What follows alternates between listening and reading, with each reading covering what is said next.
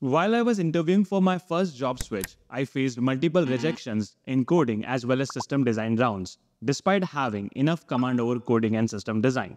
When I analyzed myself, I found three lesser known but major reasons for rejections.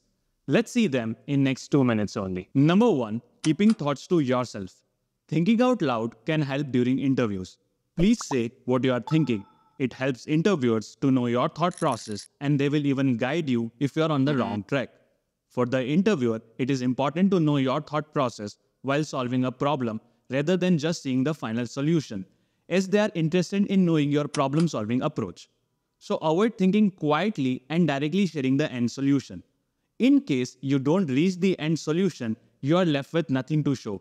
At least sharing your thought process can do some magic. Number 2. Unable to calculate time and space complexity. Keep a habit of calculating time and space complexity after solving every coding question while practicing. It is commonly asked in coding rounds. You can get stuck in these complexities if you don't practice them.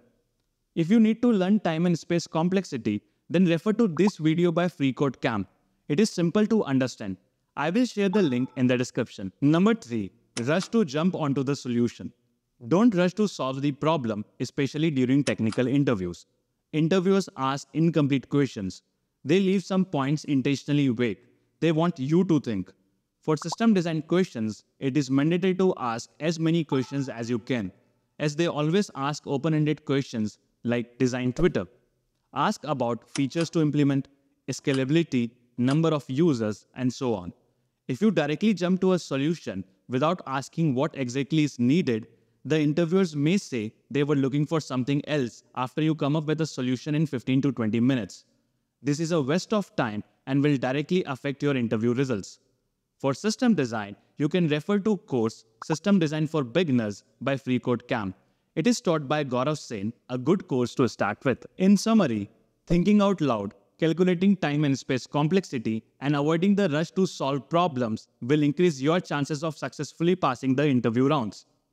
These reasons are based on his experiences. You may have additional insights from your own experience. So please comment below. I hope you like this video. Please hit the like button, share and subscribe to our YouTube channel for more such amazing content.